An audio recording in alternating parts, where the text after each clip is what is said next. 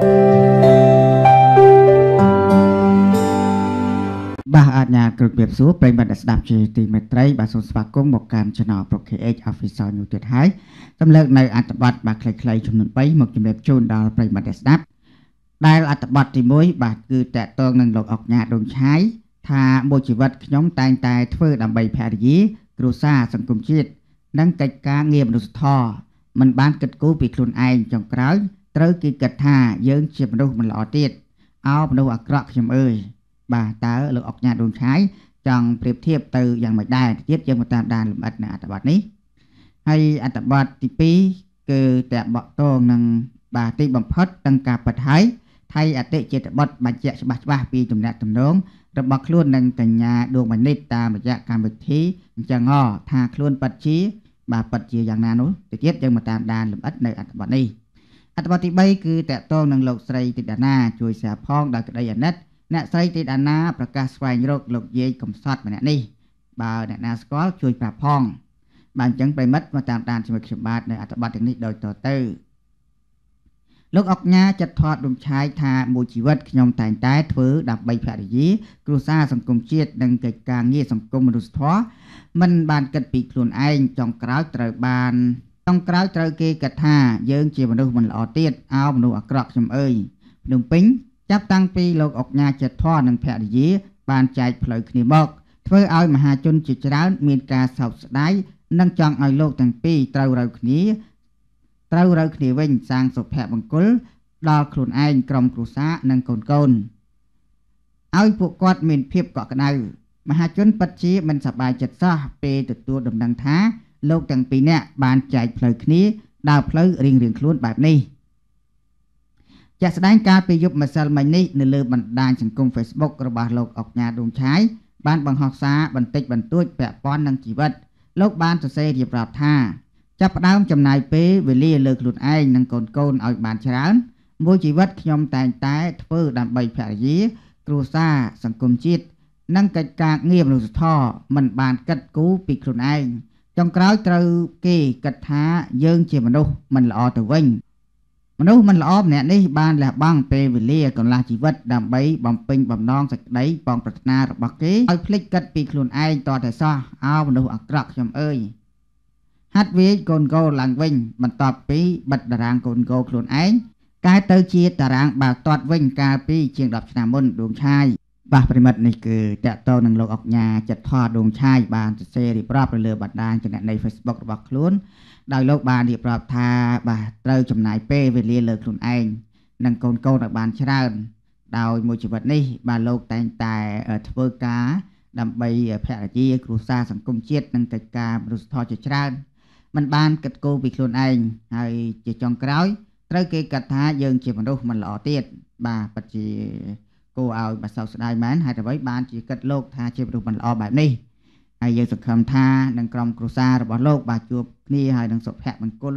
បាទជារៀងរហូតអរគុណណាស់ប្រិមិត្តយើងបញ្ចប់អត្ថបទហ្នឹងហើយយើងមកតាមដាននៅអត្ថបទមួយទៀតទីបំផុតដឹងការប៉ັດហើយថៃ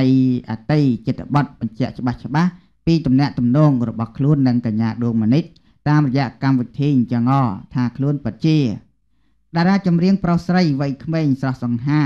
និងមានទេពកោសល្យខាងសិល្បៈចម្រៀងហើយទទួលបានការគ្រប់គ្រងយ៉ាងខ្លាំងពីសំណាក់មហាជន ជាពិសេសគឺ fan fan របស់ប្អូនប្រុសផ្ទាល់តែប្តីអតិចិត្តបុត្រជាងជាម្ចាស់បទដែលមានមហាជនយ៉ាងច្រើនកកកគ្រប់គ្រងស្នាដៃនិពន្ធរបស់ប្អូនប្រុសកាលពីប្រហែលថ្ងៃមុននេះថៃអតិចិត្តបុត្របានចូលរួមនៅក្នុងកម្មវិធីអញ្ចឹងអ ដែលជាកម្មវិធីសួរចិត្តកកាយអំពីជីវិតផ្ទាល់ខ្លួនរបស់តារាល្បីៗនិងបង្ហាញពីគំនិតតខ្លួនទៅកាន់មហាជន ពីជីវិតពិតមិនថានៅក្នុងវិស័យសិល្បៈឬនៅខាងក្រៅសិល្បៈនោះទេបាននាំចំណីអារម្មណ៍របស់បងប្អូន បានសោកសប្បាយនិងភាពកំ pl ុកកំ pl ែងរបស់ពិធីក៏ពិធីការនីដល់ឆ្នាំទាំង4ផងដែរបើយើងងាកមកមើលពីការសម្ភាសរបស់ប្អូនបុតពិធីជាពិធីកពិធីការនីវិញ បាត់បានបង្ហើបពីទំនាក់ទំនងរបស់ខ្លួនដែលបងប្អូនជាច្រើនមិនទាន់បានជ្រាបនិងមានអ្នកខ្លះក៏ជ្រាបរួចមកហើយតែចំណុចសំខាន់គឺប្អូនប្រុសបុតបាននិយាយឥតលាក់លៀមពីទំនាក់ទំនងរវាងខ្លួនជាមួយនឹងតារាស្រីម្នាក់ដ៏ស្រស់ស្អាតនោះគឺកញ្ញាដួងម៉ានិតនៅក្នុងកិច្ចសម្ភាសន៍នោះក្នុងនេតិទី29និង33វិនាទីបတ်បានប្រាប់ត្រង់ត្រង់ទៅកាន់មហាជនជ្រាបថា អូនប្រុសបានបញ្ជាក់ថាអារម្មណ៍ដែលខ្លួនមានលើកញ្ញាដួងម៉ានិតនោះគឺកើតឡើងនៅពេលដែលពួកគាត់បានធ្វើការជាមួយគ្នាមកម្លេះជាមួយគ្នានោះផងដែរបတ်ក៏មានគោលដៅមួយយ៉ាងច្បាស់ដោយគាត់នឹងបន្តការសិក្សាផ្នែកច្បាប់ ដែលនេះគឺជាគោលដៅរបស់ប្អូនប្រុសផ្ទាល់បាទប្រិមិត្តនេះគឺតកតងនឹងបាទអតិចិត្តបុត្រហើយនឹងកញ្ញាដូម៉ានិកដោយតេចិត្តបុត្រនឹងបានសារភាពថាមានអារម្មណ៍ស្នេហាបាទស្រឡាញ់ទៅលើ កញ្ញាដួងមនិចដែលមហាជនអ្នកគ្រប់គ្រងជាទូទៅ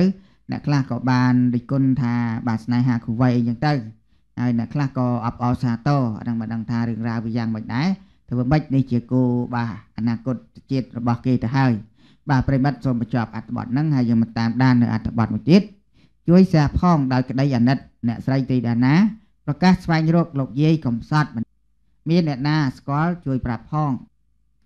ភ្នំពេញអ្នកលេងបណ្ដាញសង្គមជាច្រើនបានលន់មាត់សរសើរចំពោះទឹកចិត្តសប្បុរសធម៌របស់នារីស្រស់ម្នាក់នេះដែលមានឈ្មោះលើបណ្ដាញសង្គម Facebook ថាទីដាណាតាមពិតអ្នកនាងគឺជាកូនកំព្រាដែលមានប្រវត្តិតស៊ូតាំងពីលក់ខោអាវទៅចុះជំនះនិងពាក្យគេមើងងាយគ្រប់បែបយ៉ាងរហូតដល់ក្លាយជាម្ចាស់ហាងមេពេជ្រនិងមានក្រុមហ៊ុនផ្ទាល់ខ្លួនទៀតផងមនុស្សជាច្រើនស្គាល់អ្នកស្រីទីដាណាតាមរយៈសកម្មភាពមនុស្សធម៌នានា នៅពេលដែលអ្នកស្រីបើក Facebook មកឃើញអ្នកជួបការលំបាកអ្នកស្រី អ្នកស្រីតែងតែឲ្យគេជួយតាក់ទងជួយស្វែងរក ដើម្បីឧបត្ថម្ភក្រាន់សម្រាលការលំបាកមួយគ្រាទោះបីរវល់នឹងមុខចំនួនយ៉ាងណាក្តីអ្នកស្រីទេដាណា តែងតែបង្ហោះជារឿយៗនៅសកម្មភាពមនុស្សធម៌ទាំងនោះដើម្បីឲ្យគ្រប់គ្នាបានឃើញនិងមានគំនិតចេះជួយគ្នាទៅវិញទៅមកយ៉ាងណាមិញនៅមុននេះបន្តិចអ្នកស្រីទីដាណាបានបង្ហោះសារថា មានបងប្អូនណាស្គាល់ប្រាប់ផងដោយក្តីអាណិតពេកក្រោយពីឃើញ Facebook មួយ មានគណនីឈ្មោះថាសោភ័ណ្ឌដោយបានបង្ហោះរូបនិងសារថាសូមចាដាណាជួយគាត់ផងបានឃើញហើយអាណិតលោកយាយណាក្រហើយផ្ទះក៏ធ្លុះធ្លាយអស់មិនអាចជួយអ្វីលោកយាយសង្ឃឹមថាចាដាណាបានឃើញសូមអរគុណនៅឯកំពង់ធំដោយហេតុនេះហើយសូមប្រិមិត្តដែលអ្នកលេងបណ្ដាញសង្គម Facebook មេត្តាជួយ share រំលែកឲ្យបានដល់អ្នកដែលបានស្គាល់លោកយាយដើម្បីឲ្យបានជួបអ្នកស្រីទីដាណាផងសូមអរគុណបាទប្រិបត្តិនេះគឺតកតងនឹងលោកស្រីទីដាណា បានប្រកាសបាទរោគបាទលោកយាយម្នាក់ដែលយើងមើលទៅក្នុងរូបបាទបាត់ជាកំសត់មែនតើដោយនៅក្នុងខ្ទមហើយធ្លុះធ្លាយអស់ទៅហើយហើយពេលខ្យល់ពេលភ្លៀងមកបាទទៅនៅណា បាទសង្ឃឹមថាបាទលោកស្រីនឹងជួយលោកយាយ